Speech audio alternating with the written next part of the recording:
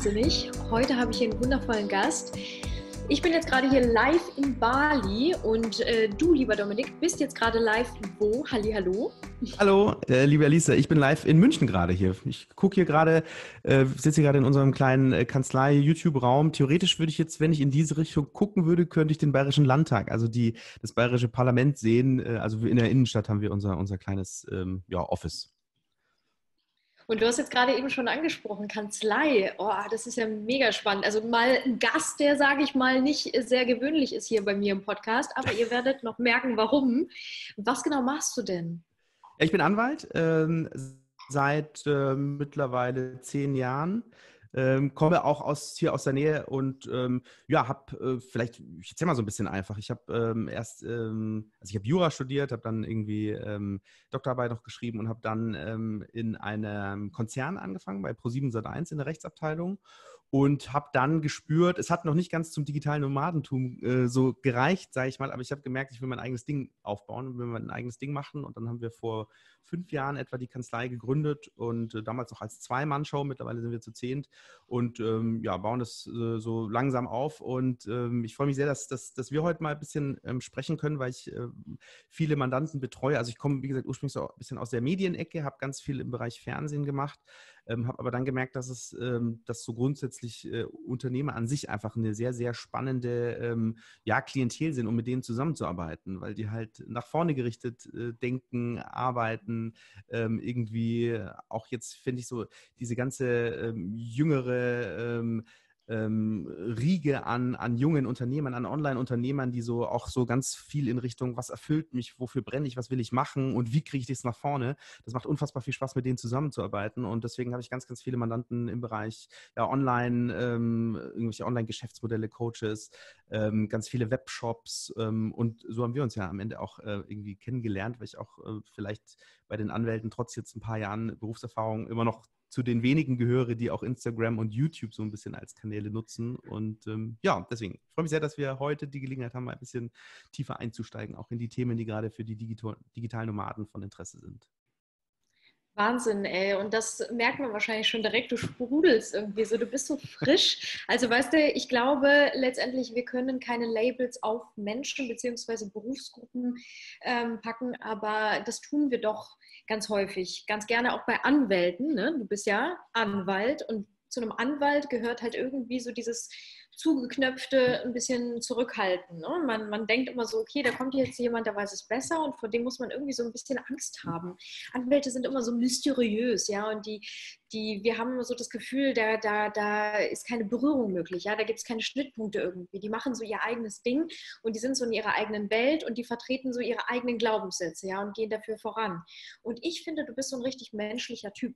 Und ich mag dich von deiner Energie her super gerne. Und deswegen habe ich das Gefühl, also A, matcht das halt bei uns total gut. Wir hatten ein ähm, längeres Gespräch jetzt vor kurzem und ähm, haben da einfach telefoniert miteinander. Und ich habe ich hab echt gedacht, Mensch, aber das ist ja ein richtig cooler Typ. Also so einfach menschlich. Wir haben ja auch schon auf derselben Bühne gestanden, hattest du ja. mir erzählt. Das wusste ich gar nicht, nämlich bei bei Gedankentanken. Ja, nicht gleichzeitig, Mega. aber hintereinander. Ja, da hatte ich mal zum Thema ähm, Verhandeln und Verhandlungen einen, einen Vortrag gehalten. Ja. Ja, richtig cool. Und sowas hat man ja normalerweise gar nicht irgendwie in der Szene. Also ich habe noch nie von einem Anwalt gehört, der halt wirklich so rausgeht auf YouTube und auch wirklich so offen, ehrlich und locker ist wie, wie du. Und äh, deswegen, ja. Das freut mich sehr. Das freut mich sehr. Ich, ich, glaube, dass es immer schon, ähm, dass äh, ich habe das gemerkt damals, ich habe ja erzählt, ich habe an, am Anfang angestellt gearbeitet und habe gemerkt, die Anstellung, mhm. die verpasst mir so eine gewisse Art von, von Fesseln, ist jetzt zu viel gesagt. Das war auch schon sehr, sehr lockeres äh, Miteinander. Aber ich habe trotzdem gemerkt, da ist ganz, ganz viel, was mich, was mich einschränkt. Und ich bin so jemand, ich will einfach, um meine volle ähm, Energie entfalten zu können, brauche ich einfach auch so ein bisschen die Gewissheit, dass ich jetzt mich niemandem gegenüber rechtfertigen muss. Und so ist eigentlich alles entstanden, auch mit YouTube, weil ich gesagt habe, ähm, ich bin niemand, der, der in, einem, in einer Großkanzlei in einem Korsett drin steckt und sich gegenüber dem Partner oder dem Chef rechtfertigen muss, weil er jetzt einen YouTube-Kanal hat, sondern ich sage einfach, Leute, äh, ich mache meinen YouTube-Kanal. Äh, wem es gefällt, der soll sich anschauen. Und wem es nicht gefällt, der soll sich nicht anschauen. Aber ich werde mich ganz bestimmt nicht dafür rechtfertigen, warum, wie und kann man das überhaupt machen? Ein Anwalt bei YouTube ähm, oder bei Gedankentanken oder bei Instagram, ähm, sondern ich mache es halt einfach. Und das, das ist, glaube ich, so ein Teil, so dass dieser innere Freiheitsdrang. Insofern äh, ist, glaube ich, das so ein Punkt, warum wir mhm. auch so auf einer Wellenlänge sind, auch wenn ich jetzt äh, auch aus familiären Gründen irgendwie äh, nicht sag ich mal, vielleicht ein Glaubenssatz, aber ich sage ähm, so, ich bin schon hier in, in München verwurzelt und ähm, ich will jetzt vielleicht auch gar nicht überall auf der Welt leben, aber trotzdem habe ich einen mhm. immensen äh, inneren Freiheitsdrang und sage, ich will die Sachen einfach dann machen, wann ich sie möchte und ich will sie so machen, wie ich sie möchte. Mega. Und genau das finde ich halt so richtig cool. Und ähm, letztendlich das, ja, dieser Freiheitsdrang, das ist ja genau das, was irgendwie auch so einen digitalen Nomaden ausmacht, beziehungsweise Menschen, die einfach ortsunabhängig und frei leben möchten und dabei auch am besten das tun, was sie aus dem Herzen machen und damit auch noch Geld verdienen. Und all diese Punkte, die da zusammenkommen. Und ich meine, äh, ich sitze hier gerade auf Bali und ich habe das hier 24-7 um mich herum. Ja, im Coworking Space, da gehe ich hin und da sind Menschen, die, die leben ihre Passion und die sind so dankbar dafür, wirklich jeden einzelnen Tag einfach frei entscheiden zu können können, hey, wo bin ich jetzt gerade? Ne? Die, die wissen ganz genau, hey, ich bin bewusst hier. Ich bin bewusst hier, nicht wegen Corona, sondern tatsächlich, ich habe die Entscheidung für mich getroffen. Und ähm, ich glaube, dass letztendlich viele von uns so einen Traum haben, den sie aber nicht verfolgen, weil so viele Blockaden in unserem Kopf sind, weil da so viele Grenzen sind, so viel Leistungsdruck, so viel Druck von der Gesellschaft, die einem quasi sagt, nee, das ist nicht möglich. Das ist nicht möglich, weil das ist viel zu kompliziert. Und es ist vor allen Dingen illegal. Ja, gerade mhm. bei uns Frauen, und ich spreche da aus Erfahrung, hat man so das Gefühl, oh, mache ich jetzt gerade etwas Falsches? Also ist das okay, was ich hier tue? Kann ich überhaupt auswandern? Und wenn ja, was muss ich denn dabei eigentlich alles beachten? Was muss ich dabei beachten, wenn ich auch als Frau ein Unternehmen gründe? Und deswegen finde ich das so interessant, mal mit dir darüber zu sprechen, ähm, inwiefern kann ich denn mein Business im Ausland aufbauen und was muss ich dabei alles beachten? Wenn ich als digitale Nomade einfach losgehe. Ich bin jetzt, sage ich mal, in Deutschland, wir nehmen jetzt mal diesen Fall und ich denke mir, hey, ähm, ich, ich möchte zwar auf Reise gehen, ich habe da vielleicht auch schon ein paar Ziele irgendwie vor Augen, aber ich möchte auch dabei Geld verdienen, weil ich möchte mir irgendwie meinen Lebensunterhalt finanzieren. Das heißt, ich bräuchte ja ein Gewerbe irgendwo in dieser Welt. Oder ich lasse es in Deutschland. Was gibt es da für Dinge zu beachten? Das heißt, was Gewerbegründung angeht. Wenn ich jetzt mein Gewerbe in Deutschland lasse, muss ich natürlich meine Einnahmen in Deutschland versteuern. Wie ist das denn, wenn ich so Kunden aus Deutschland habe? Guter Punkt. Also du, du, ähm, du hast ganz viele Punkte jetzt angerissen, die man irgendwie ähm, dabei berücksichtigen muss. Ähm, am Anfang ist mal so die Frage, okay, ich möchte nicht, nicht angestellt arbeiten, sondern ich möchte in irgendeiner Weise ähm, freiberuflich oder selbstständig als Gewerbetreibender arbeiten. Das ist mal eine ganz große Unterscheidung, glaube ich, so der, der, der Einstieg so in dieses ganze digitale Nomadentum, weil das ja auch so dieser Punkt, diesen Punkt Freiheit ganz, ganz extrem ähm, so mit, mit ja, prägt. Ähm, und das ist juristisch betrachtet, ich versuche es immer so aus, aus, beiden Blickwinkeln so ein bisschen mal zu, äh, zu erklären. Ähm, das ist ein Riesenunterschied, weil ähm, an der Angestellten-Tätigkeit hängt nicht nur diese Abhängigkeit von einem, von einem Arbeitgeber, ähm, sondern auch für den Arbeitgeber ganz viele Verpflichtungen, was so Sozialversicherungen ähm, und diese äh, ganzen äh, Beiträge angeht. Da geht der Arbeitgeber auch ein großes Risiko ein, wenn er jetzt lassen wir mal das Reisen weg.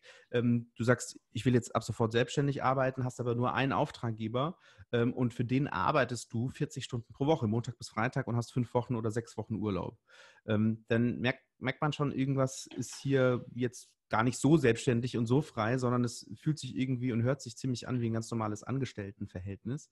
So, und ähm, das ist auch das Gefährliche, weil in, in dem Fall, wenn der Arbeitgeber jetzt einem nur einen Stundenlohn bezahlt, ohne Sozialversicherungsbeiträge zu bezahlen, ohne für die Krankenversicherung zu bezahlen, ähm, dann geht der Arbeitgeber das Risiko ein, dass er das später nachzahlen muss, weil es eigentlich gar kein Selbstständiger ist, sondern es ist ein Scheinselbstständiger. Der ist nur dem Schein nach frei, aber eigentlich ist er ziemlich stark ähm, eingebunden in das, was, ähm, was der Auftraggeber ähm, und der eigentlich der Arbeitgeber wäre, ähm, was der macht. So, das mal so als, als, als Einstieg vielleicht, weil so fängt es ja vielleicht an, dass man sagt, ich bin erst angestellt, will dann raus, ich möchte mehr Freiheit, habe aber vielleicht einen großen Auftraggeber, der mir ähm, meine Miete zahlt, der mir ähm, so meinen Lebensunterhalt bezahlt. Ähm, und da muss man zumindest nach, nach deutschem Recht ähm, so ein bisschen die Augen offen halten und schauen, dass man sehr schnell von einem wegkommt zu mehreren. Ja, dass man mindestens drei, vier, fünf, mehrere Auftraggeber parallel und dort auch ähm, möglichst ähm, nicht irgendwelchen Weisungen unterbunden ist. Das ist immer so ein schmaler Grad. Ich habe vorhin gesagt, als Anwalt, ja, ich mache die Arbeit dann, wann ich möchte und wie ich sie möchte. Stimmt natürlich auch nur so in, ähm, zu einem gewissen Grad, weil natürlich habe ich äh, Mandanten. Ja, wenn du jetzt meine Mandantin bist und sagst, ja, ich brauche jetzt hier, äh, morgen läuft eine Frist ab und ich sage, ich habe aber jetzt heute und morgen keine Lust, ich melde mich erst am äh, Sonntag oder am äh, nächste Woche oder in drei Wochen, dann sagst du auch, ja, äh, cool, dann suche ich mir einen anderen Anwalt. Ähm, deswegen gewisse Grenzen gibt es natürlich schon.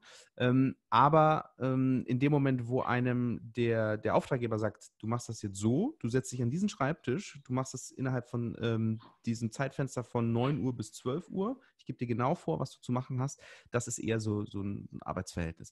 Das mal so ganz grob. Also, wenn man sich entscheidet, okay, ich mache das Ganze jetzt selbstständig, dann kannst du es natürlich von überall auf der Welt machen. Es gibt im Prinzip zwei zwei Haken oder äh, Ansatzpunkte, die relevant sind für hm, wem schreibe ich äh, oder welche Rechnung schreibe ich, was schreibe ich auf meine Rechnung und wo zahle ich meine Steuern und was für Steuern muss ich bezahlen. Und das ist im Prinzip zum einen der Wohnsitz und zum anderen die Frage ähm, des Gewerbesitzes. Ähm, und da gibt es im Prinzip äh, fast unendlich viele ähm, Konstellationen. Ähm, wir gucken uns jetzt mal die Konstellation an. Ich ähm, habe noch einen Wohnsitz in Deutschland. Ähm, dann habe ich grundsätzlich auch mal, ich, ich muss keinen Wohnsitz in Deutschland haben, um ein Gewerbe anzumelden. Aber wenn ich einen habe, dann bin ich dort auch steuerpflichtig. In der Regel. Es gibt Steuerrecht, das ist sehr, sehr, sehr, sehr komplex. Es gibt auch nochmal ganz viele ähm, Feinheiten. Ich empfehle auch immer nochmal im, im Zweifel wirklich mit dem eigenen Steuerberater, der idealerweise auch ein bisschen Verständnis hat, äh, für das digitale Nomadentum in die Details zu gehen. Aber ich will mal so in dem Podcast einfach so auf die Grundzüge so ein bisschen eingehen. Ähm, grundsätzlich Deutschland, Wohnsitz oder gewöhnlicher Aufenthaltsort, das heißt, ihr habt noch eine Wohnung da oder äh, man ist noch bei den Eltern gemeldet, dann muss man grundsätzlich auch in Deutschland seine Steuererklärung abgeben und in Deutschland auch Steuern bezahlen. Jetzt gibt es die Möglichkeit, dass man sagt, nee, ich will aber, ich will alle Zelte in Deutschland abbrechen. Hm, dann kann man das natürlich machen. Du brauchst keinen deutschen Wohnsitz. Ähm, du kannst trotzdem ein Gewerbe in Deutschland haben. Also du kannst ein Gewerbe in Deutschland haben, ohne in Deutschland einen Wohnsitz zu haben. Das ist vielleicht die äh, zweithäufigste Konstellation. Ähm, äh, und das ist von, vor dem Hintergrund ganz wichtig, wenn jetzt jemand aus Deutschland in die Welt zieht, aber sagt, ich habe meine drei Hauptkunden in Deutschland ähm, und die verschrecke ich vielleicht eher, wenn ich sage, hey, ich schreibe jetzt eine Rechnung aus Bali oder ich schreibe jetzt irgendwie eine Rechnung aus Singapur oder so, sondern ich möchte es auch, dass die äh, da eine gewisse, dass die sagen, ja, das ist alles seriös und das passt alles. So, dann kann man sein Gewerbe auch dann von überall anders aus der Welt betreiben und dieses Gewerbe kann seinen Sitz in Deutschland haben und dazu muss ich keinen eigenen Wohnsitz in Deutschland haben. Das heißt, man hat dann eine Adresse, die du auf die Rechnung schreiben kannst. Ähm, du bist allerdings auch in diesem Fall, wenn du Einnahmen aus Deutschland erzielst, auch in Deutschland steuerpflichtig. Jedenfalls für die Einnahmen, die aus Deutschland erzielt werden. Wenn man noch einen Kunden in Großbritannien hat und man hat noch einen Kunden in der Schweiz und vielleicht einen noch in Asien, so das Geld ist wiederum ähm, die Versteuerung dann richtet sich möglicherweise, und jetzt wird es kompliziert, nach dem Wohnort und der Frage, wo verbringe ich denn die meiste Zeit, wenn man nicht mehr als die Hälfte des Jahres in Deutschland verbringt. Dann wird es ein bisschen komplexer, da muss man nämlich möglicherweise auch einen Steuerberater ähm, vor Ort mit hinzuziehen. Ähm, aber so Kernbotschaft, ich brauche in Deutschland nicht zwingend einen Wohnsitz und ich kann trotzdem in Deutschland mein Gewerbe anmelden, kann meine Rechnung dort schreiben, muss dann allerdings auch die Einnahmen, die ich über diesen deutschen Gewerbesitz und vor allem aus Deutschland erziele, muss ich auch nach deutschem Recht versteuern. Sehr viele und Infos auf einmal. Mega, aber das ist genau das. Guck mal, ich brauche ja noch nicht mal Fragen stellen. Du äh, hast das ja alles schon richtig gut auf dem Schirm. Und das ist jetzt genau die Frage, denn okay, ich habe jetzt deutsche Arbeitgeber und ich versteuere das alles in Deutschland und das macht auch alles super viel Sinn. Ähm, auch wenn ich jetzt beispielsweise gar keinen Wohnsitz mehr in Deutschland habe, das heißt weder einen Schlüssel zu irgendeiner Wohnung noch irgendwelches Hab und Gut, noch, noch materiell habe ich quasi nichts mehr in Deutschland, mhm. was mich daran bindet, außer mein Gewerbe. Mhm. Was ich aber zu bedenken habe, ist natürlich auch, dass ich dann eine Krankenversicherung trotzdem ja. in Deutschland haben müsste. Ja. Das heißt, ich zahle einmal die Steuer in Deutschland, obwohl ich nicht Aufenthalt äh, habe dort in Deutschland und noch die Krankenversicherung, die mir aber gar nicht dient, weil ich auf Weltreise bin. Ja und nein. Also da, das ist völlig richtig. Wenn ich in Deutschland das, das Gewerbe ähm, habe und in Deutschland steuerpflichtig bin, dann falle ich auch unter die Krankenversicherungspflicht. Ähm, es gibt natürlich die Möglichkeit, ähm, diese Auslandskrankenversicherung zu machen. Da hast du wahrscheinlich besseren Überblick als ich. Ich weiß, das ist nicht so wahnsinnig teuer. Ich weiß allerdings auch nicht, ähm, wie die Tarife jetzt sind, wenn ich das nicht nur für den Urlaub mal vier Wochen ähm, abschließen möchte, sondern, sondern dauerhaft. Ähm, aber das Thema Krankenversicherung, das habe ich in der Tat, wenn ich in Deutschland das Gewerbe betreibe. Das stimmt, ja. Okay, und dann nehmen wir jetzt mal den Fall, ich melde jetzt alles ab. Das heißt, ich entscheide mich jetzt dazu, ich möchte in Deutschland unter meinem Namen quasi nicht mehr sein. Das mhm. heißt, ich gehe zum, zur Behörde und sage, hey, Leute, ich bin jetzt mal weg, ja, ich gehe jetzt mal auf Weltreise und dann fragen wir gewöhnlich, ja, dann sagen Sie mir doch mal, äh, wo ist denn jetzt Ihre neue Anschrift? Ich bin ja auf Reise, das heißt, ich habe ja gar keine. Mhm. Das heißt, was passiert in so einem Fall? Naja, in, ähm, da muss man unterscheiden. Wenn du sagst, du hast jetzt alle Zelte abgebrochen, es gibt nichts mehr, was dich in Deutschland hält, du hast keinen Wohnsitz mehr dort und du hast auch kein Gewerbe, keinen Firmensitz, keine GmbH-Beteiligung, sonst irgendwas. So, dann, dann kannst du verziehen, dann kannst du vielleicht, dann könntest du theoretisch bei der Behörde, wenn es darum ginge, da könntest du vermutlich eine Adresse angeben, an der du als nächstes anzufinden bist oder sein könntest.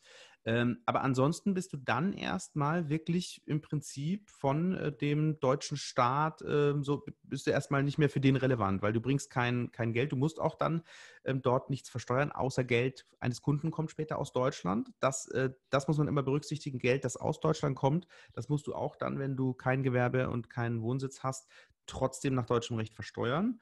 Ähm, aber wenn auch das nicht der Fall ist, ja, wenn du wirklich alle Brücken nach Deutschland abbrichst und nur noch ähm, für internationale Kunden ähm, tätig bist und sonst wo auf der Welt außerhalb von Deutschlands lebst, dann ist im Prinzip das deutsche Steuerrecht in, in dem Moment für dich erledigt. Und was wäre, wenn ich aber jetzt, ähm, ist es nicht so, dass das Gewerbe automatisch abgemeldet ist, wenn ich mich in Deutschland abmelde oder muss ich das Gewerbe nochmal separat abmelden? Ja, das ist nicht automatisch. Das sind zwei Dinge, die tatsächlich voneinander separat zu betrachten sind. Ähm, du kannst deinen Wohnsitz in Deutschland abmelden und kannst ähm, trotzdem dein Gewerbe weiter betreiben von Deutschland aus, wenn du das möchtest. Kann, kannst dem dann auch deutsche Rechnungen ähm, schreiben. Ähm, wenn du sagst, nee, ich will das nicht mehr, dann, dann kannst du es genauso abmelden und sagen, okay, jetzt ist wirklich alles abgebrochen. Es meldet sich nicht automatisch ab in dem Moment, wo du keinen Wohnsitz mehr hast. Du brauchst. Was ist, wenn ich sorry, den, den Punkt noch dazu, bei der, beim Gewerbe, du brauchst natürlich dann eine, eine Geschäftsanschrift. Das heißt, ein Gewerbe ohne eine Anschrift in Deutschland, das funktioniert nicht. Also du brauchst irgendwo bei den Eltern oder bei einem Coworking Space oder in deiner alten Wohnung oder bei, bei was weiß ich, ähm, wo auch immer, man braucht dann schon eine Anschrift. Und diese Anschrift muss dann auch wieder auf die Rechnung, die du schreibst. Das ist vielleicht äh, noch ein ganz wichtiger Punkt. Also ein Gewerbe, das so äh, in, der, in, der, in der Luft ansässig ist, das gibt es nach deutschem Recht zumindest nicht. Okay, spannend. Und was ist denn jetzt, wenn ich ähm, im Ausland bin?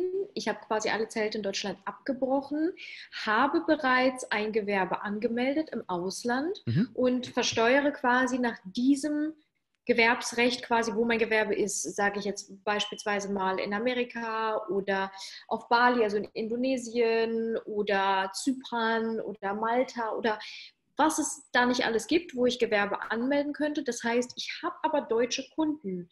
Wo versteuere ich denn jetzt quasi die Einnahmen? Bei meinem neuen Gewerbe oder in Deutschland?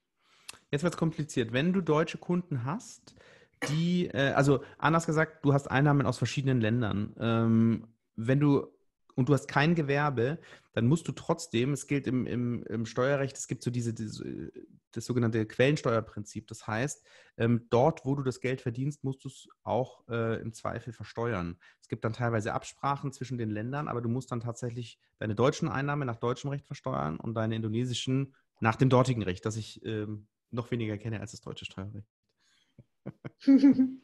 Aber da wird es okay, tatsächlich komplex. Und deswegen ein, ein wichtiger Punkt, dass man tatsächlich ähm, Steuern ist ja äh, ist ein Riesenthema, nicht nur bei uns in Deutschland, sondern, sondern weltweit. Und natürlich geht es immer darum, äh, Steuern optimal zu gestalten, zu gucken, wo kann ich, äh, wie zahle ich möglichst wenig Steuern, was habe ich dafür Gestaltungsrechte und so weiter. Ähm, und ein, ein Steuerberater, das muss jemand sein, der dein Business auch versteht und nachvollzieht. Also wenn ihr auf der Suche seid nach einem neuen Steuerberater, dann würde ich ganz gezielt im im, im, Erstgespräch oder im Kennenlerngespräch schon in Erfahrung bringen, ist das jemand, der mit solchen grenzüberschreitenden Sachverhalten ganz, ganz gezielt in diesem ähm, im Dienstleistungssektor im Bereich der digitalen Nomaden Erfahrung hat oder zumindest ein Verständnis dafür hat, wie das, wie das funktioniert. Weil es ist komplett was anderes, auch nochmal, wenn du was produzierst. Es kann ja sein, du produzierst irgendwie was in Indonesien, verkaufst es aber vom deutschen Shop und verkaufst es in die Schweiz. So, dann hast du auch schon wieder drei Länder, die da eine Rolle spielen. Das ist aber trotzdem, das ist ein physisches Produkt. Da hast du wiederum ganz andere steuerliche Themen, als wenn du eine Dienstleistung erbringst, beispielsweise grafische oder Design-Dienstleistungen oder sonstige Beratungs-Coaching-Dienstleistungen. Ähm, das ist wieder was anderes und deswegen, da würde ich immer gucken, ähm, dass ihr dann für diese, für diese Gestaltung und vielleicht auch für den Berater, der euch dann betreut, vielleicht am neuen Wohnort ähm, oder wenn es einen deutschen Bezug gibt, dann in, in Deutschland, da jemand dazu holt, ähm, der das auch wirklich, der die Konstellation kennt. Ich selbst bin kein Steuerberater, deswegen kann ich in, in dem äh, Sinne sozusagen das große, den großen Bogen, den steuerrechtlichen ziehen. Aber ähm, was die Gestaltung, die Einreichung der Steuererklärung, ähm, mögliche Doppelbesteuerungsabkommen angeht, ähm, da empfehle ich dringend, da zu einem, zu einem Experten zu gehen, der mit eurem, mit eurer Situation, ist ja kein Job, sondern ist ja eigentlich ein, ein Lebens, äh, eine Entscheidung, die, das Leben zu führen, ähm, das auch einschätzen und beurteilen kann. Ja, absolut. Und ähm, letztendlich ähm, ist, glaube ich, das Problem, wie auch jetzt eingangs schon erwähnt, so dieser Druck, den wir uns machen, ne? weil wir halt gesellschaftlich so konditioniert sind, wir wir müssen ähm, Steuern bezahlen, genauso wie alle anderen Menschen auch und genau diesen Betrag. Und das geht dann in die und die Richtung und das ist die und die Höhe und andere Menschen. Also letztendlich ist es ein riesengroßer Vergleich, den wir da aufmachen. Und dann ähm, habe ich auch selber so erfahren, dass, dass der Moment, wo ich quasi aus Deutschland ausgewandert bin, das war so ein einerseits Befreiungsschlag, aber andererseits wie so eine Art, kann ich das jetzt wirklich machen? Ne, also da war echt wie so ein Glaubenssatz, der mir gesagt hat, nee, Alisa, das ist jetzt gerade irgendwie nicht richtig. Und ich finde, dieses Thema Steuern können wir ja total hinterfragen. Das heißt, was passiert denn da? Wir geben etwas zurück. In meinem Glauben, und deswegen gründe ich hier zum Beispiel eine eigene Charity, sind das alles Dinge, die ich an diese Welt zurückgebe. Das heißt, mir ist es super wichtig, dass das alles im Fluss ist, aber dass ich vor allen Dingen nur für mich ganz persönlich weiß und entscheiden kann, hey, wo fließt denn das Ganze hin? Ja. Das heißt, ich mit meinen eigenen Händen bin aktiv vor Ort, ich sehe, was damit passiert und das ist für mich so dieses, ich schaue, wo braucht es mich? Wo braucht es meine Energie hier in der Welt? Und da kann ich sie hingeben. Zum Beispiel, wie viele von uns wissen denn, was eigentlich mit, mit Steuergeldern passiert? Und wie viele entscheiden denn bewusst, okay, ich möchte genau da rein meine Energie geben? Was hältst du denn generell, also jetzt, um nicht zu lange auf diesem Thema Steuern rumzu, rumzuhacken, aber ich finde, das ist halt so ein wichtiges Thema generell, was Glaubenssätze angeht und was uns diese Freiheit nimmt. Wie können wir ähm, diese Freiheit zurückerlangen, die uns quasi erlaubt, überhaupt in diese Welt rauszugehen, wenn da doch all diese Blockaden sind. Das ist ein sehr, sehr guter Punkt. Also ich glaube, ähm, dass, dass, ähm, Punkt, den man wirklich positiv hervorheben muss, wenn du sagst, so, ich habe Angst, ähm, ob das jetzt ähm, ist, weil du Deutschland verlässt oder weil du sagst, ich bin als Frau nicht so erfahren in Business-Geschichten, weil ich das vorher nicht gemacht habe, wie auch immer. Ich glaube, grundsätzlich ist mal ist wichtig, dass man ähm, schon so einen gewissen ähm, ja, so einen gewissen Respekt hat vor so dieser, ähm, es gibt einfach ähm, bestimmte Vorgaben, die, die dazu, ähm, ja, die bestimmte Regeln vorgeben, sagen wir es mal so. Ne? Das, es gibt Gesetze einfach. So, somit fängt es ja, so, ja an. Jetzt kannst du natürlich sagen, Gesetze sind mir doch scheißegal. Ich mache, was ich möchte. Ich hau jetzt ab und ähm, das ist mein Geld und ich gebe keinem was davon ab. So, das ist die eine Variante. Das ist ähm, dann, sag mal, wenn man so jemand äh, berät und vertritt, deutlich schwieriger, weil du dann natürlich, ähm, weil du dann einfach schon komplett gegensätzliche Herangehensweisen hast. Ähm, wenn der eine sagt, ich will im Prinzip, ich habe nichts dagegen, das Recht zu brechen, oder ich will gucken, wie weit kann ich denn wirklich bis an die Grenze? Und wenn es ein bisschen drüber hinausgeht, dann ist auch nicht so schlimm, wie weit kann ich gehen, dann ist das ein komplett anderer Ansatz, ähm, auch energetisch hundertprozentig, als wenn ich sage, ähm, ich verstehe, dass es bestimmte Vorgaben gibt. Es gibt Gesetze, die gibt es in Deutschland, die gibt es auch in anderen Ländern. Ähm, und ähm, ich bin absolut gewillt, die auch einzuhalten. Ich möchte nur den Teil, den ich gestalten kann, den möchte ich auch selber gestalten. Und ich glaube, das ist ein himmelweiter Unterschied, ähm, wenn du überlegst, ähm, gerade auch bei dem Thema, man, man hat internationale Kunden und jetzt hast du einen, der nicht bezahlt. Ähm, und natürlich hast du da, du hast ähm, überall irgendwie Recht und Gesetz, ähm, dass wenn ein Vertrag besteht, dass du das Geld dann auch bekommst. Ähm, aber die nächste Frage ist natürlich immer, wie setzt du es dann auch durch? In welchem Land? Ähm, wie machst du eine Zwangsvollstreckung, wenn du in Deutschland sitzt und dein Kunde in Indonesien oder andersrum? So, das heißt, da gibt es einfach bestimmte ähm, bestimmte faktische Hürden, die es einfach sehr, sehr schwer machen. Und ich glaube, da ist es einfach ganz wichtig. Und davon ähm, habe ich Gott sei Dank, der, fast alle von meinen Mandanten ticken so und das ist vielleicht auch so ein Thema, ähm, so, man, man findet sich dann eher, ähm, wenn man sagt, nee, ich, ich halte mich auch an den Vertrag, wenn es nur ein Handschlag war und ich keinen schriftlichen Vertrag mit 40 Seiten AGB habe. Oder ich sage, nee, das, wir haben das so und so besprochen, wir haben es danach vielleicht nochmal geändert und daran halte ich mich auch. So, so eine gewisse ähm, sag ich mal, Verlässlichkeit ähm, gepaart mit so einem gewissen ähm, auch Unrechtsbewusstsein, dass man nicht sagt, ja, ich äh, jetzt, wie gesagt, steuerlich, versuche ich jetzt alles irgendwie ähm, so zu gestalten, dass das alles in meiner Tasche ist, sondern sagt, okay, es gehört halt nun mal dazu, keiner zahlt gerne Steuern, aber du kannst jetzt natürlich sagen, ähm, es, es, ist Teil des Ganzen, es ist auch irgendwie ein, ein Aspekt der Nächstenliebe, wenn man so möchte, dass man sagt, okay, das ist einfach, ähm, das gehört zum System, dass ich von dem, was ich verdiene, etwas abgebe und damit die, die denen es vielleicht nicht so gut geht oder die du irgendwie sozial unterstützen musst, werden halt durch den Sozialstaat, der diese Steuergelder am Ende wieder verteilt, dann unterstützt. Und das kann man vielleicht noch sogar ähm, so gestalten, wie du gerade sagst, durch eine eigene Charity ähm, oder durch jemand, der spendet, ähm, jemand, der verstanden hat, dass wenn du gibst, äh, dann bekommst du auch zurück und nicht derjenige, der immer nimmt, kriegt am meisten. Das ist, glaube ich, auch so, da, damit fängt es, glaube ich, an schon am Anfang. Wie bist du denn eigentlich äh, gepolt? Ähm, und wenn man das natürlich noch dazu gestaltet, ähm, absolut, absolut fein.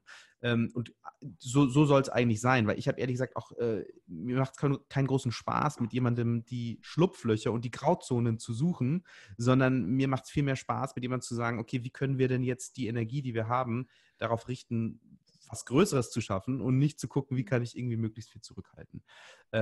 Aber grundsätzlich ist es natürlich dann so, das, wenn man das mal so verstanden hat oder sich auch das bewusst gemacht hat, natürlich musst du dann einfach auch immer gucken, wo sind die Grenzen. Ich glaube aber, dass die, dieser Glaubenssatz, ähm, ähm ich darf das vielleicht nicht, äh, ist das überhaupt erlaubt, ähm, am Ende dann, ähm, am Ende mit den richtigen Beratern und ähm, ich glaube auch mit dem, dass der, der Mut, der dazugehört, am Ende belohnt wird. Denn ähm, letztlich wird kein Staat kein Land auf dieser Welt irgendwie etwas dagegen haben, wenn jemand sagt, ähm, ich möchte jetzt hier ein Business aufbauen und ich möchte irgendwie Geld erwirtschaften, Umsätze erwirtschaften ähm, und bezahle natürlich auch meine Steuern in dem Maß, wie ich das, ähm, wie das von mir erwartet wird.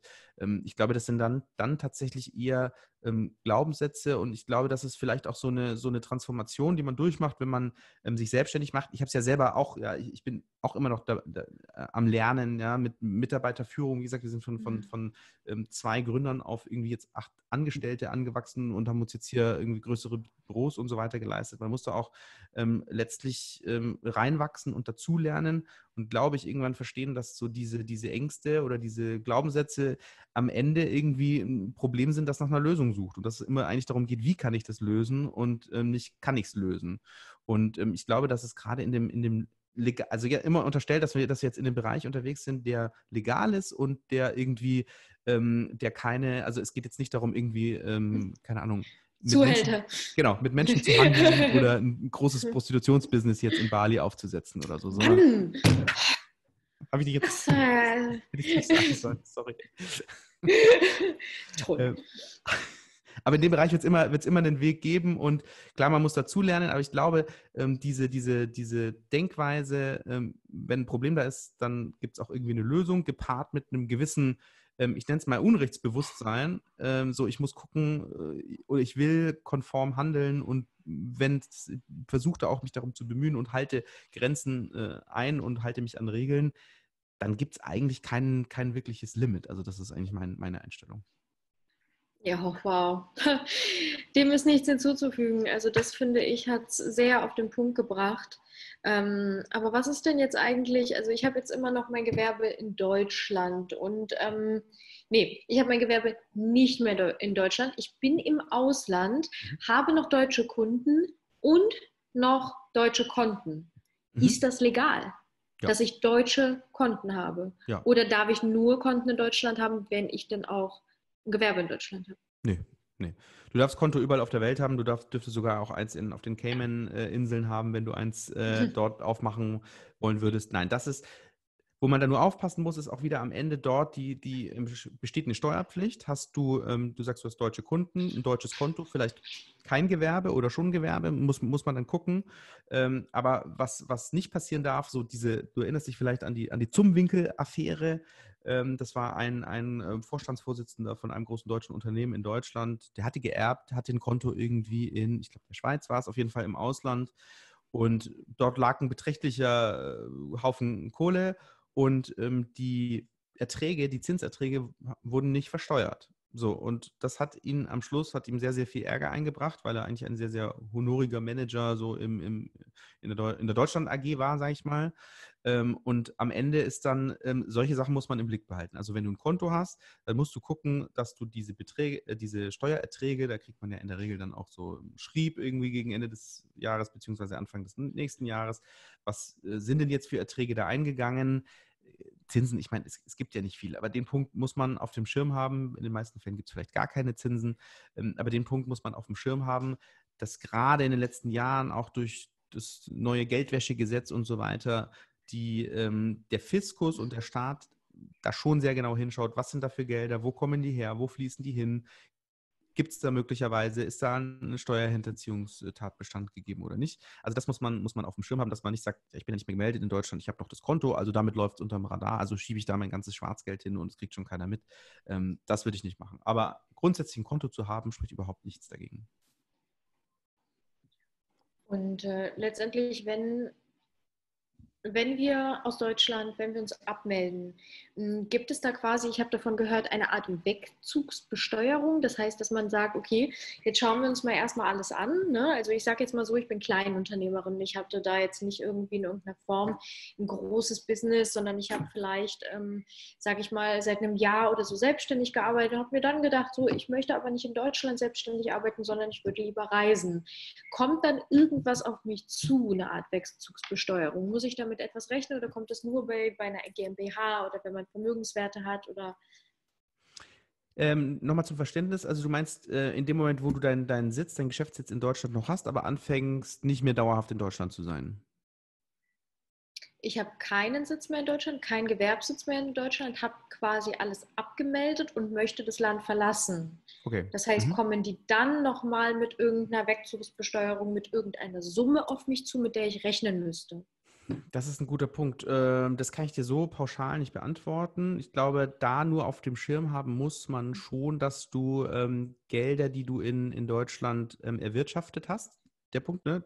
So ist es. Du hast doch Kunden in Deutschland, die zahlen dir Geld auf ein deutsches oder auf ein anderes Konto. Das spielt am Ende keine Rolle, aber das Geld kommt aus Deutschland. Das heißt, es ist auf jeden Fall gewerbesteuerpflichtig. Ähm, möglicherweise, gut, Kleinunternehmer fällt das Thema Umsatzsteuer ähm, nicht an, aber äh, ansonsten wäre auch Umsatzsteuer ein Thema, wenn man jetzt nicht mehr unter die Kleinunternehmerregelung fällt. Ähm, genau, also die, die, Punkte muss man auf jeden Fall im, im Blick behalten. Und ähm, Betrag hängt natürlich immer davon ab, wie viel wie ja, viel es dann am Ende ist. Aber ähm, das ist äh, in, in, dem Moment, wo Geld aus Deutschland fließt, egal wohin, ähm, ist, die, ist die Steuer ein Thema in Deutschland. Und noch eine, eine letzte Frage zu diesem Thema.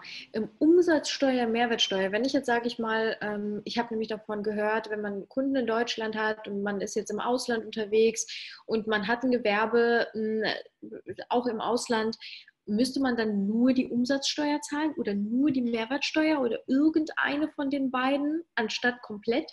Also bei einem Sitz im Ausland kann ich es dir nicht sicher sagen, weil ich da, da hängt es dann mhm. vom, hängt's vom Sitz ab grundsätzlich, wenn der Sitz jetzt in Deutschland wäre, wenn es noch ein Gewerbe in Deutschland gäbe, ähm, dann würde Umsatzsteuer anfallen. Das ist das Gleiche. Umsatzsteuer und Mehrwertsteuer. Mehrwertsteuer ist im Prinzip der mhm. umgangssprachliche Begriff. Es geht um die Umsatzsteuer.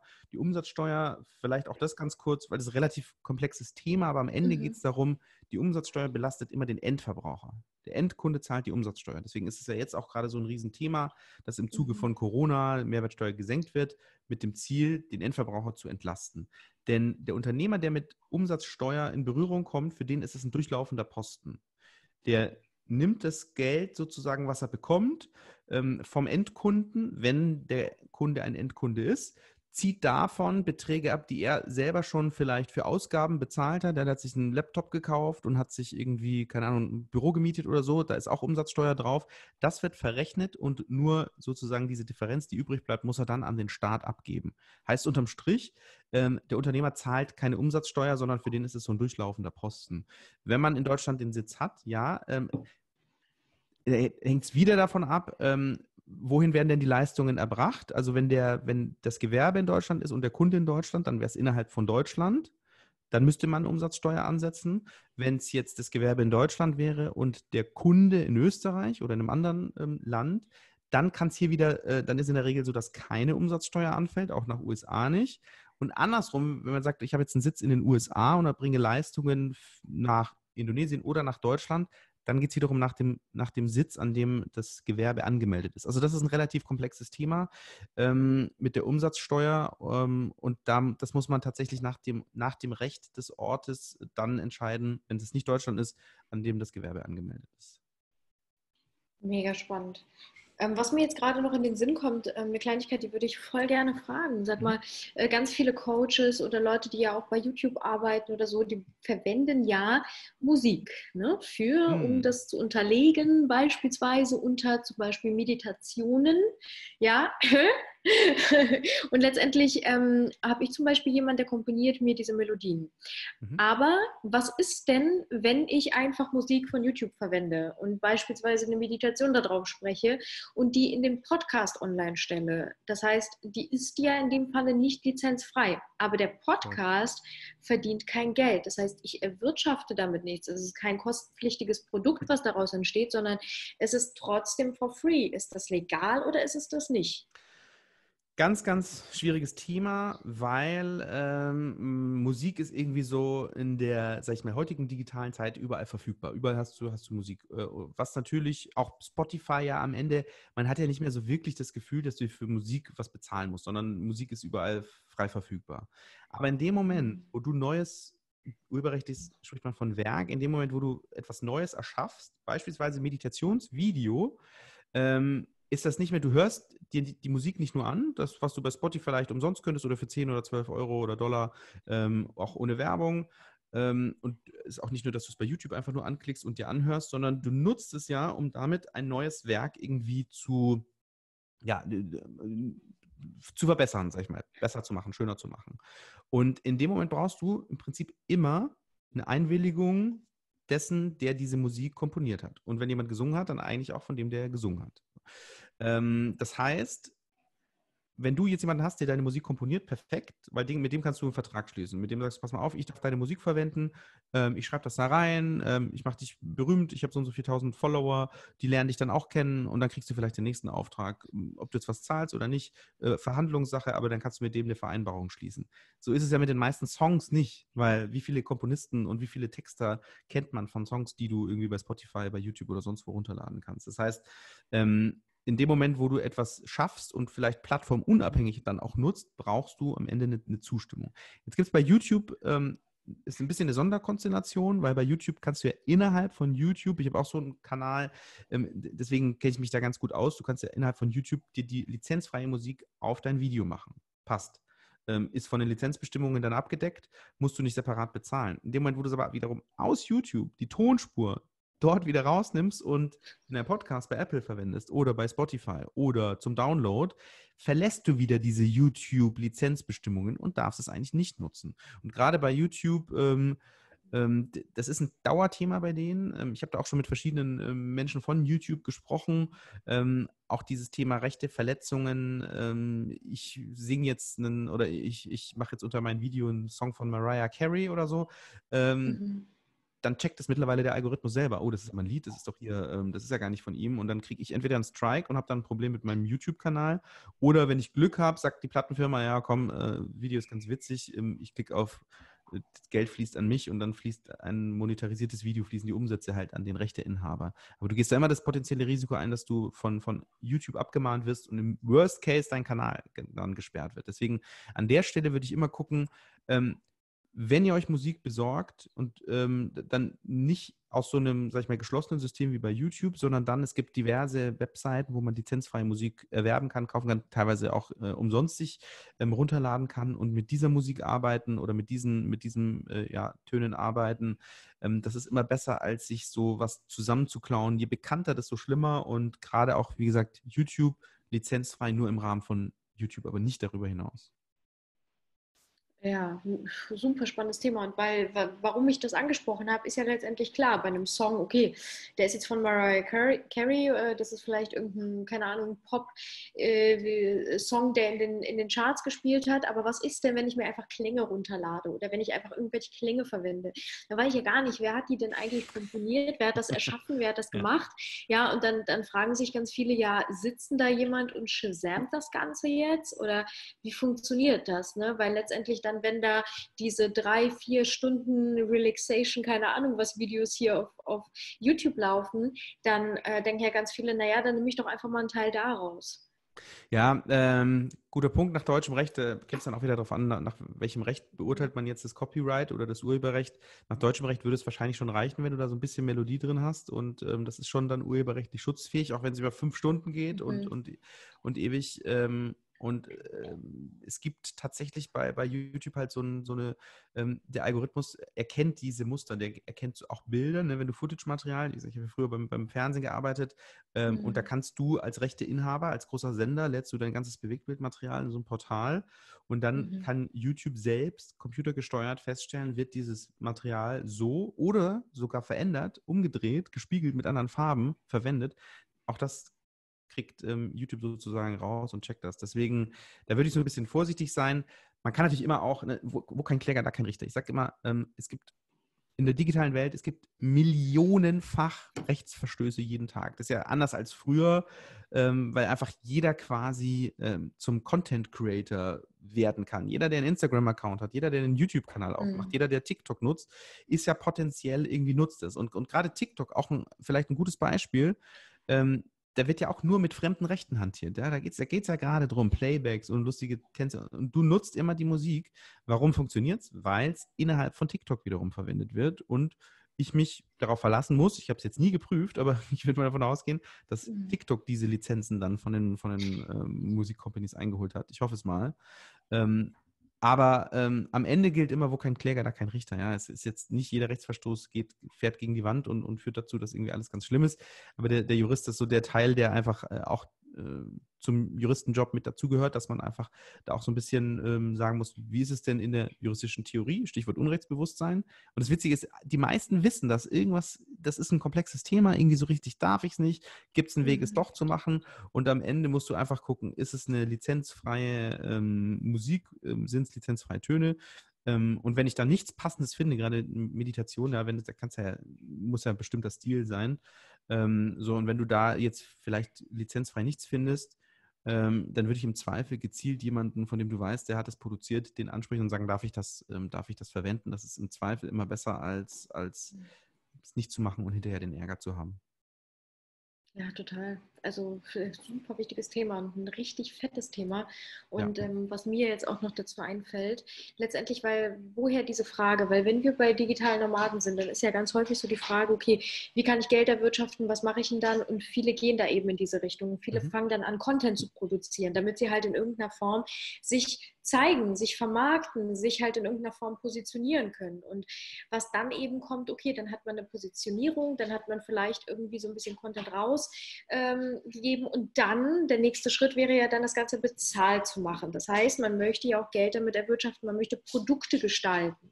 Und jetzt gestalte ich so ein Produkt, ja, beispielsweise als Coach mache ich jetzt so ein äh, Online-Seminar.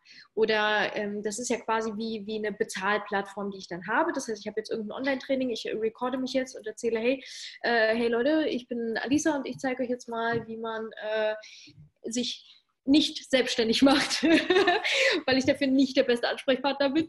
Nein, Quatsch. Aber letztendlich äh, klickst du dann da drauf und ähm, dann kommt dann eben diese Bezahlplattform. Und ich zum Beispiel persönlich habe da ähm, DSGVO-konform quasi jemanden, eine IT-Rechtskanzlei, die ich bezahle monatlich dafür, dass sie mir eben diese, diese ähm, Klauseln stellen, die man da mhm. reinpacken muss. Das heißt, wenn ich diesen Anbieter habe, ich habe keine Ahnung, ehrlich gesagt, wie das heißt. Aber da müsste man aufpassen, dass man quasi diese DSGVO oder all diese Dinge, die man dann rausgibt, wenn das um bezahlte Produkte geht, dass man das einhält. Man kann jetzt mhm. nicht einfach so sagen, okay, ich, ich verkaufe jetzt einfach was. Ja und nein. Also grundsätzlich mal, äh, das ist auch wieder so die, die, die Sache am Anfang, die Entscheidung, ich möchte irgendwie ein eigenes Produkt äh, verkaufen, ich möchte irgendwie äh, ein Coaching anbieten oder ich möchte einen Videokurs mhm. oder was auch immer anbieten. Ähm, und dann äh, es ist ganz simpel, ganz plain ist es eigentlich, du bietest es an, ich kaufe es, wir schließen einen Vertrag über Summe X, die zahle ich dir und dafür kriege ich den Zugang. So ist mhm. eigentlich so, das ist das, was, was du machst, wenn du, wenn du von Verkaufen sprichst. Klar, und jetzt kommen natürlich diese kleinen juristischen Stolpersteine noch dazu, dass du sagst, DSGVO, was für Daten werden denn wo gespeichert? Da muss man mittlerweile auch ein bisschen aufpassen. Privacy Shield, USA, ganz äh, komplexes Thema. Was machst du mit den Daten am Ende? Verkaufst du die weiter? Gibst du, hast du einen anderen Coach, der nebenan wohnt, wo du sagst, hier, da ist die Nummer, ruf mal an, die könnte auch für dich passen und äh, mein Kunde hat nie zugestimmt. So. Ähm, dann hast du das Thema ähm, AGB ähm, was ist denn jetzt eigentlich, wenn ähm, ich widerrufe? Was ist eigentlich, wenn ähm, die Leistung nicht dem entspricht, was ich eigentlich mir erwartet habe oder was mir versprochen wurde?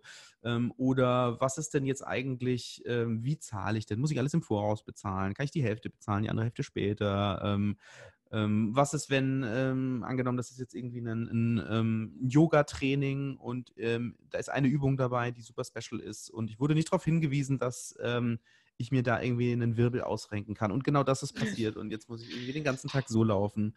Ähm, wie kann ich mir jetzt da irgendwie Schadensersatz holen? Das sind alles so Themen, ähm, die im Prinzip ähm, passieren können. Ja, es kann immer irgendwie was schiefgehen. Und ähm, die kann man dann ähm, in so, ja, in, in AGB-Form gießen.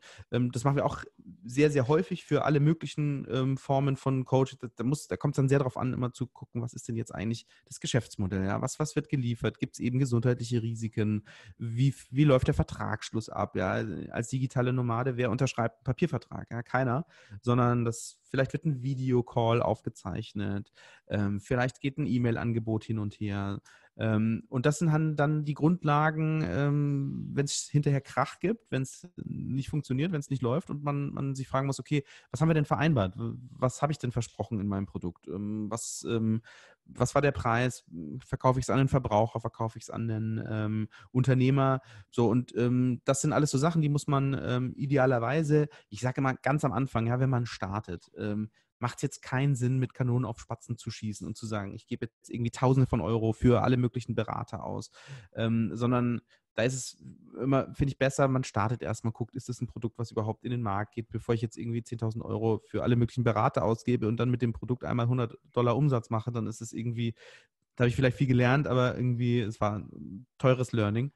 Ähm, und deswegen ganz am Anfang sage ich immer, jetzt gewinnt mal eure ersten Kunden. Ähm, ich check mal das Angebot, dass es passt, ja, dass man eine vertragliche Grundlage hat. Und dann, wenn es ähm, mehr in die Details geht, wenn man merkt, okay, ich habe jetzt so und so viele Kunden pro Monat und die sind bereit, Summe X zu bezahlen, sage ich, okay, dann ist es auch bereit, das Level ähm, des Business so ein bisschen anzuheben und zu gucken, habe ich ordentliche AGB, habe ich das DSGVO-Thema abgedeckt, habe ich, ist meine Webseite, passt das Impressum, dass man sich nicht angreifbar macht.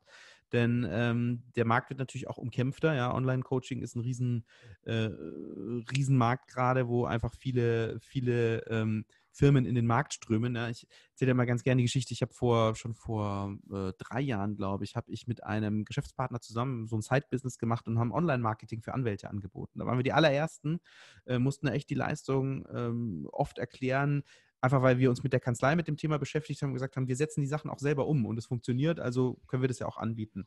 Ähm, und mittlerweile werde ich, glaube ich, bei LinkedIn, ich weiß es nicht, bestimmt dreimal pro Woche angeschrieben von, von äh, Coaches, die, ähm, die alle auch irgendwie den gleichen Text mir immer schicken. Das ist eigentlich ziemlich witzig. Die haben alle irgendwie die gleichen Schablonen. Dann kriege ich immer das gleiche Wording. Ja, sie haben auch keine Zeit. Dann komme ich gleich zum Punkt, wollen sie mehr Mandate? Ich so, nee, ich habe genug, weil ich kümmere mich selber um das Zeug. Okay, und wie lange wie lange hält der Strom noch an? Ich so, ja, so lange, wie ich das halt ähm, weiter betreiben möchte.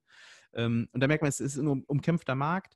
Ähm, mhm. Und deswegen so in diesem, in diesem Ablauf. Ja, ich, ich will jetzt keinem Neustarter irgendwie da das Geld aus der Tasche ziehen und am Ende kommt raus, das Produkt funktioniert gar nicht. Und du weißt ja selber, wie es ist. Ne? Wenn du, wenn du sagst, seit neun Jahren bist du digitaler Nomade, man entwickelt sich auch weiter. Man merkt, ich habe das eine ausprobiert, das passt nicht. Ähm, ich will so meine ideale ähm, mein ideales Biotop zum Leben und Arbeiten ist, wenn ich ähm, so und so mit meinen Kunden arbeite und das denen biete, weil keiner von uns hat Lust, irgendwie jemandem was zu verkaufen, was nicht funktioniert. Also zumindest, da sind wir wieder beim, bei dem Thema, wer will jetzt das Geld und wer will wirklich was geben.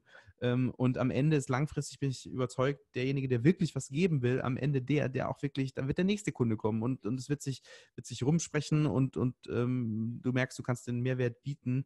Keiner hat am Ende was davon, kurzfristiges Geld jemandem aus der Tasche zu ziehen und, ähm, und gerade in, in heutigen transparenten digitalen Zeit ähm, fliegen alle auf. Ja? Am Ende heißt es, okay, das ist ein, äh, da stimmt was nicht, macht das nicht. Ähm, insofern, ja, aber es gibt dann so um es abzuschließen, ähm, man wächst immer weiter, dann kommen die Mitarbeiter dazu, dann so, das, und auf jedem Level, sage ich mal, gibt es unterschiedliche ähm, rechtliche Probleme ähm, und auch letztlich wirtschaftliche Herausforderungen, auf die man sich dann einstellen muss.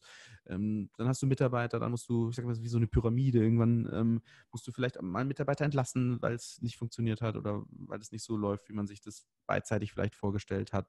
Ähm, oder du hast Menschen, die dein, dir dein Geld nicht bezahlen und, und je größer und professioneller das wird, desto eher suchst du dir dann halt einen, ähm, einen Sparingspartner, der sagt, okay, pass mal auf, wir haben hier einen äh, definierten Prozess, Geld wird nicht bezahlt, dann kommt die erste Mahnung und dann, und dann geht es weiter. Und ähm, ist, finde ich, auch am Ende so eine Frage, wie professionell äh, gehe ich mit meinem Business um? Sage ich, ich verkaufe dir was, aber ob du zahlst, ist mir egal. Oder sagst du, wir haben einen Deal, du kriegst meinen Content und dafür bekomme ich ähm, meine Vergütung und ähm, am Ende, wenn die nicht kommt, dann, dann ähm, bin ich so aufgestellt, dass ich das professionell mir auch ähm, dann hole. Ähm, aber das ist, wie gesagt, immer so eine Frage, auf welchem, auf le welchem Level bin ich und wo will ich auch hin? Vielleicht will gar nicht jeder digitale Nomade jetzt ein Riesenbusiness machen, sondern sagt, nee, wenn ich meine so und so viel tausend Dollar im Monat Umsatz mache und davon meine Kosten bezahlen kann, dann bin ich happy. Ich brauche jetzt nicht irgendwie das Riesending. Das ist, glaube ich, so eine Frage, was will man und wo will man hin? Und wo willst du eigentlich hin? Also was ist so deine Vision mit all dem, was du machst? Hast du da eine? Also hast du irgendwie so einen Zukunftsplan? Ja, also ich habe äh, hab viel ausprobiert in den letzten Jahren. Ähm, ich habe gemerkt, dass ich äh, wirklich so mein, mein eigenes Ding mache, aber ich ähm, habe jetzt auch wirklich den ganz klaren Fokus auf der Kanzlei, weil ich merke, das ist jetzt auch von den, von den Kolleginnen und Kollegen, die hier, ähm, die hier mit involviert sind, das passt jetzt einfach vom, vom Setting. Und ähm, ich halte hier und da noch, noch Vorträge ähm, und mache auch bei, ähm, bei YouTube bin ich nach wie vor sehr aktiv, weil das auch wirklich viele, viele gute Kontakte bringt und am Ende auch die, die, der, der Kanzlei dient und wir auch darüber sehr, sehr viele ähm, Bewerbungen bekommen, weil ich halt äh, einer der wenigen Anwälte bin, die so ein bisschen auch aus der Innenansicht so ein bisschen berichten und das natürlich dann wieder dazu führt, dass Leute sagen, oh, da möchte ich gerne mitarbeiten, das möchte ich gerne kennenlernen. Und äh, ja, wir haben hier recht, äh, ja, wir wollen auf jeden Fall mit der, mit der Kanzlei weiter wachsen, wollen ähm, am Ende die Menschen dabei helfen, irgendwie ähm, ihre, ihre Ziele zu erreichen, ihr, ihr, ihr Recht zu bekommen. Das sind ähm, viele Unternehmen, das sind ähm, aber auch Einzelpersonen, die irgendwie Probleme haben, ähm, sei es im Arbeitsrecht oder sei es irgendwie haben einen Crash gebaut. Ähm, und da sind wir ähm, Gott sei Dank, äh, sag ich mal, relativ weit, was so Online-Marketing-Geschichten angeht. Ähm, und ja, also was mich am Ende wirklich äh, antreibt und was mir einfach Spaß macht, ist zu sehen, wie das wächst. Wenn man was aufbaut, wenn man fleißig ist, wenn man sich fokussiert, dass die Dinge voranschreiten, dass es wächst. Und ähm, so manchmal denke ich mir auch so, wow, wir haben irgendwie vor, vor fünf Jahren, hatten wir, hatte ich einen Schreibtisch angemietet, ne, in so einem Coworking Space äh, und ja. habe so gesagt, so, wir schreiben jetzt hier, und da stand mein Mandant dann unten irgendwie in der, in der, ich dachte, oh Gott, ich habe denen gesagt, die sollen nicht vorbeikommen. Jetzt denken die hier, hier ist eine Riesenkanzlei, dabei ist es hier nur so ein Schreibtisch und ein Drucker. Ähm, und so hat es angefangen. Und ähm, ja, jetzt haben wir halt hier irgendwie zwei, zwei Büroetagen, die irgendwie auch schon wieder so, jetzt, äh, es ist noch nicht zu eng, aber ewig reichen wird es auch nicht. Und ähm, das dann so festzustellen, zu merken, nee, wenn du, wenn du da weitermachst, fleißig bist, hin und wieder auch natürlich Risiken eingehst, hin und wieder auch mal Geld zum Fenster rauswirfst, weil du sagst, okay, das war jetzt die falsche Entscheidung, ähm, aber verstehst, dass du halt ähm, auch investieren musst, um irgendwie was zu bekommen und schlimmerweise immer investieren musst, dann, wenn du eigentlich sagst, so, puh, das tut jetzt aber schon ganz schön weh. Ähm, äh, aber so ist es halt, so funktioniert es halt nicht. Du musst halt erst irgendwie den Schritt gehen und dann ziehst du nach und ähm, ja. Und mir macht das einfach Spaß. Ich wollte immer Anwalt werden und ähm, das war schon ganz lang klar und jetzt merke ich einfach, wie cool das ist, wenn du alles zusammenziehen kannst. Ja? Erfahrungen von Vorträgen, ähm, irgendwie unternehmerische Erfahrungen, ähm, Spaß vor der YouTube-Kamera zu sprechen, führt dann irgendwie fünf Jahre später dazu oder drei Jahre später dazu, dass du plötzlich jede Woche irgendwie fünf Bewerbungen bekommst. Das hatte ich damals auch nicht so mhm. auf dem Schirm. Aber wenn du was machst ähm, und was gibst, dann, dann kommt was zurück. Und das ist eigentlich so das, ja, das Coole. Oh, boah, du sag mal, ey, das ist ja, das ist ja, die, die Worte hätten ja von mir sein können. Wenn du was machst und wenn du was gibst, dann kommt auch was zurück. Und äh, ja, absolut, genau so ist es. Und genau das spüre ich auch total bei dir. Ich spüre bei dir richtig so eine, so eine Ehrlichkeit. Also ähm, unabhängig davon, dass du jetzt ein Anwalt bist oder so. Aber letztendlich, da ist so eine, da, da ist richtig so diese Leidenschaft und das finde ich super schön. Und ja, auch interessant, dass du sagst, äh, du wolltest schon immer Anwalt werden. Ähm, ja. ja, ich glaube, wir, wir spüren, was, was unser Weg ist, wenn wir früh anfangen, auf diese Stimme zu hören. Und dann fangen wir nach und nach an, eben das Ganze aufzubauen. Mit unserer eigenen Kraft, in unserem eigenen Tempo und schauen dann, wo wir hinkommen. Genau. Und der erste Schritt ist der entscheidende. Und der erste Schritt geht oft nicht in die mhm. richtige Richtung. Aber ohne den ersten Schritt kommst du nie bei Schritt 200 an ich glaube auch nicht, dass es so richtig und falsch gibt. Ich glaube letztendlich, also ich persönlich, mich haben all diese Schritte geprägt. Jeder einzelne, der hat mich letztendlich zu dieser Person gemacht, die ich heute sein darf. Und ich bin da super dankbar für. Und deswegen glaube ich auch, egal wo du gerade bist, ob du zuhörst oder zuschaust, dass du, dass du nicht hinterfragst, irgendwie so, ähm, mache ich jetzt gerade einen Fehler, sondern viel eher, fühle ich mich gerade wohl? Fühle ich mich gerade wirklich wohl in dem wo ich gerade bin. Und das hast du so schön gesagt eingangs. Ähm, du hast gesagt, hey, ich, ich fühle mich in dem Ganzen nicht wohl. Ich bin das nicht. Und ich glaube, das ist der, der Kern Punkt, weil letztendlich wir identifizieren uns im besten Falle mit allem, was uns umgibt. Wirklich mit, mit, mit allem. Ich identifiziere mich mit, mit meiner Wasserflasche. Ich bin diese Wasserflasche irgendwo. Und diese Wasserflasche wird dann letztendlich wieder zu mir, weil ich trinke dieses Wasser. Und das ist so dieser Kreislauf dieser Erde. Weil alles, was, was dich umgibt, ob es dein Auto ist, deine Kanzlei ist, ja, die, die Tapete hinter dir, egal was, du erkennst dich darin wieder, sonst würdest du sie ja nicht holen. Weil die wird bald ausgetauscht. Ich glaube, die neue ist schon da, du musst noch gebügelt werden. gebügelt werden, ja. Da sind, da sind dann so Palmen drauf und so. Naja. Diese Paragraphenzeichen. Nein. Geil. Nee, danke Dominik, wirklich von Herzen. Und wir werden alles hier unten auch verlinken. Und ich muss echt sagen, danke dafür, dass du bist, wie du bist, dass du so locker bist, dass du so offen bist, dass du dir diesen Spaß und, und diese Leichtigkeit und diese Freiheit im Inneren beibehältst. Denn das ist die Freiheit, die wir haben. Es ist nicht nach Bali reisen oder irgendwo anders. Und ich glaube, diese Freiheit findet einfach in uns statt. Und wenn wir die nicht spüren, dann finden wir die nirgendwo in keinem tropischen Paradies. Und ja, ich spüre, dass, dass du sie schon hast und das ist wunderschön. Also danke dafür, dass du hier bist und dass wir ja, quatschen durften. Vielen, vielen Dank dir. Hat mir, hat mir sehr viel Spaß gemacht. Ich hoffe, ich konnte die eine oder andere Verwirrung äh, reduzieren oder vergrößern, wie auch Stiften. immer. ja, das war sehr erfolgreich. danke, Dominik. Super. Ciao, ciao. Ich danke dir, liebe Lisa. Bis dann. Ciao.